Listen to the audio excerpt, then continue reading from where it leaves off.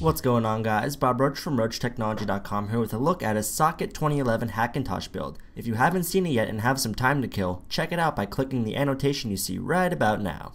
With that out of the way, let's have a look at the completed build. The machine is encased in the Graphite Series 600T case from Corsair. On top of the clean, modern look, this case features tons of space to work, a hardware fan controller, as well as tons of I.O. options. Up top, we have one USB 3.0, one FireWire 400, line in, fan controller, line out, and four USB 2.0 ports. On the back of the machine, we have the rear I.O., the outputs of the GTX 670 graphics card, antennas for the Wi-Fi card, and the power supply. The rear I.O. consists of four USB 2.0 ports, a CMOS reset, two USB 3.0 ports, a standard Ethernet jack, optical audio, two eSATA ports, two more USB 3.0 and 2.0 ports, a Bluetooth receiver, as well as the traditional audio outputs. The Gigabyte GTX 670 consists of two DVI, one HDMI, and one DisplayPort. Now let's rip off that side panel and have a look inside.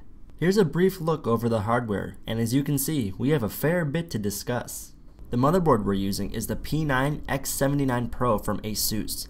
This board runs on the X79 chipset, uses socket 2011 processors, has 8 memory slots, and overall just packs a serious punch. For more information on this board, be sure to hit that subscribe button. This build is using an Intel Core i7-3930K 6-core processor and is being cooled by a Corsair H80i liquid cooler. For memory, we're using 32GB of Corsair Vengeance. The graphics card we're using is the Gigabyte GTX 670. This card features 2GB of GDDR5 memory, 1344 CUDA cores, and a great WindForce cooling system. Powering all this great hardware is a 750 watt Corsair HX750. This is a modular power supply which really helps keep the system looking nice and clean on the inside.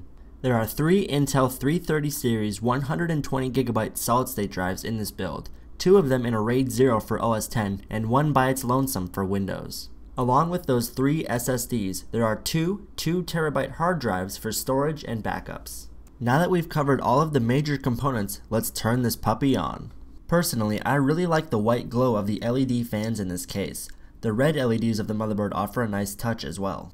The H80i cooler also looks great in this case with the gray fans, black tubing, and light up CPU brick.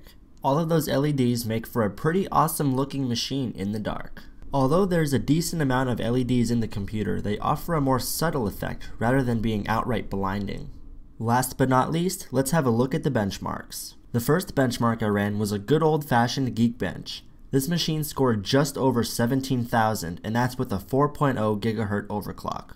Moving on to Cinebench, let's perform an OpenGL test first. The GTX 670 scored about 43 frames per second. Moving on to the CPU portion of the Cinebench test, the 3930K scored 11.59 CPU points. Keep in mind, that's with the same 4.0 GHz overclock.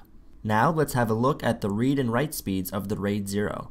As you can see here, the Intel drives in a RAID 0 array offer almost 1 gigabit per second symmetrical speeds. Needless to say, just about any application you open on the system will be nearly instant. This has been a brief overview of the Socket 2011 Hackintosh that I built live. I'm at CPU Kid on Twitter. Also be sure to check out RocheTechnology.com and I hope to see you guys back here soon.